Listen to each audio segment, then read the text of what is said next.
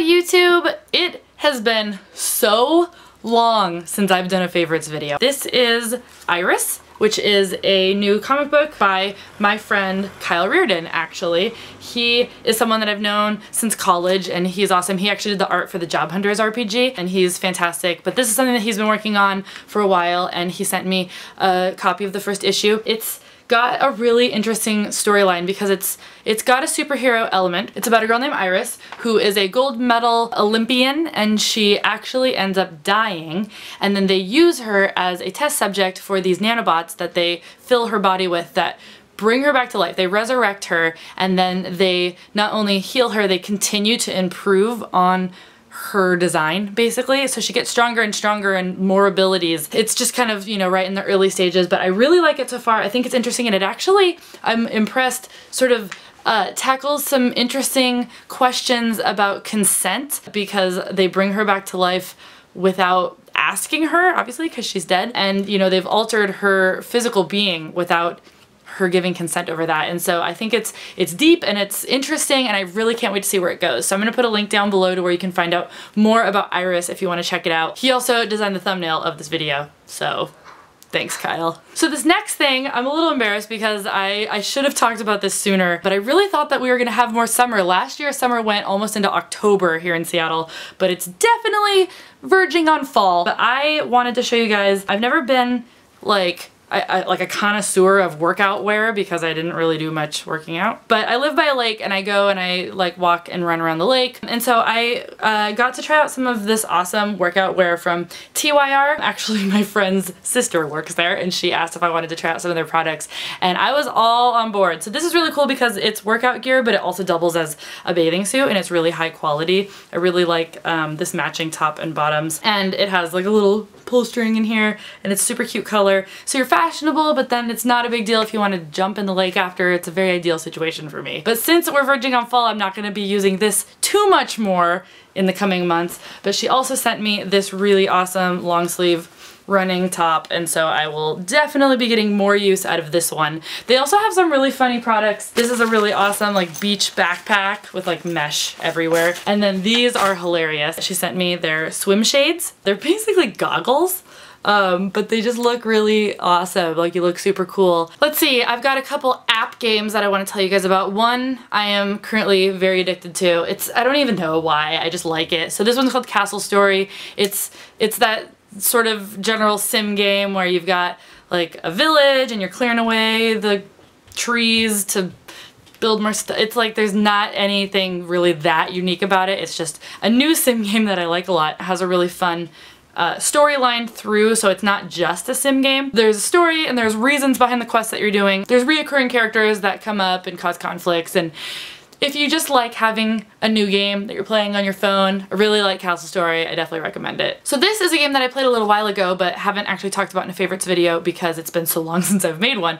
But I played Lifeline, which was great. If you haven't played Lifeline yet, you definitely need to. It took me like a week and a half to two weeks to finish it. It's a text-based game where a person has crashed on a planet and you're their only lifeline and so they're trying to figure out what they're doing and how they're going to survive and where they should go. And they're asking for your opinion and so you're kind of deciding what they're going to be doing and the success or failure of their survival kind of rests in your hands. And it's really cool. It, it works really well where you actually kind of feel like you're talking to someone. It really feels like you're texting with a person. So it was a lot of fun. Uh, my roommates and I were all playing at the same time and we'd be like oh hang on. I can't talk to you Taylor needs me right now I really really hope that this company makes more games like this because it was actually a little shorter than I imagined it would be, but it was so well done that I'm just I'm just hoping that there's more. Um, I've got a couple of new shows that I'm into. I'm literally still watching Gilmore Girls. I started watching Gilmore Girls back in December and I've been so busy with my job that I am only just now on season 7 and I have just season 7 left and I, I actually need recommendations let me know down in the comments below what would be a good new show to dive into once I finish Gilmore Girls because it's going to be a very difficult day for me. Here are the other things that I'm currently watching or recently watched. Um, I started watching iZombie. I really like this show. It's made by the same guy who did Veronica Mars and it definitely feels like if the creators of Veronica Mars were like, what if we did this but like zombies? I also watched Kingsman the other day, which is a movie that I somehow completely missed hearing anything about until about a month ago, and I loved it. And the really funny thing about Kingsman is that at Faerieworlds they had a Victorian cane and umbrella self-defense class that my roommates and I all took, and it was a lot of fun.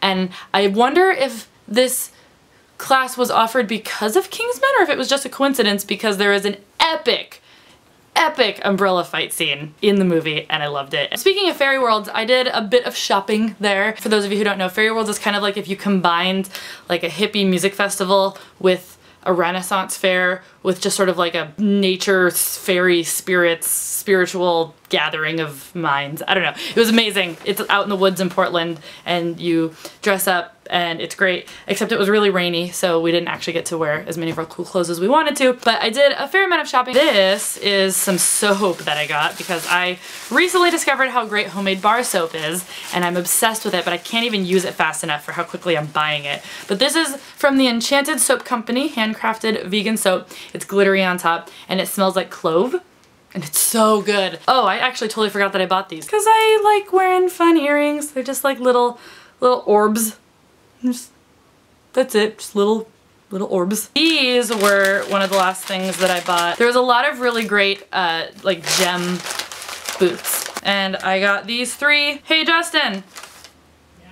Can you come here? I don't want to mess this up, so I'm going to bring my own personal gemologist in here to let you know exactly what these are. This one is rose quartz. I know that. Yeah. And it's awesome. It's in this like awesome, what would you even call it? Geometric shape. Um, that's Pointy- a prism. Pri prism, there we go, thanks. What was this one again? This is actually the malachite. Yeah. Oh yeah, okay, I knew that. And then this was cherry something. I believe it's cherry quartz. Mm-hmm. Um, it's it's not something I've ever seen before, but uh, it's it's looks like quartz, Yeah. but in a cherry like flavor. Yeah.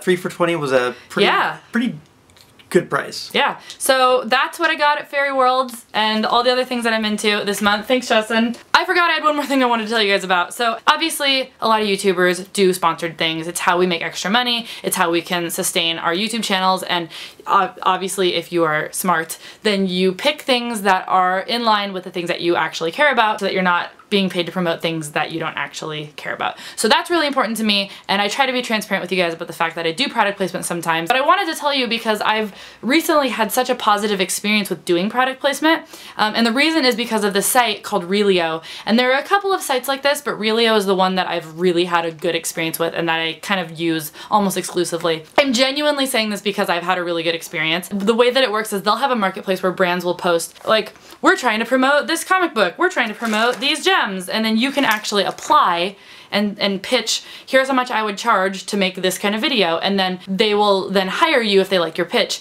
And it's really cool, and I've gotten to work with a lot of really cool brands. I worked with NatureBox this way, and I worked with Care.com this way, and I really like it because you get to set your own terms, and so you are only ever going to be making content that you're comfortable making, and so I just wanted to let you guys know because I realized that that's not something that needs to be a secret. Uh, Reelio is great, and it's available for anyone to use, and so if you've been interested in trying to do some sponsored posts, definitely go check it out and sign up. I'm going to put a link down below to where you can find that out. I try not to do product placement that often because I want my content to stay genuine and I want you guys to know that my opinions are my own and I also only ever work with brands that I actually believe in. So yeah, that's now that's it for my September favorites video. Again, let me know if you have any other recommendations for me and I will see you guys next time. Bye!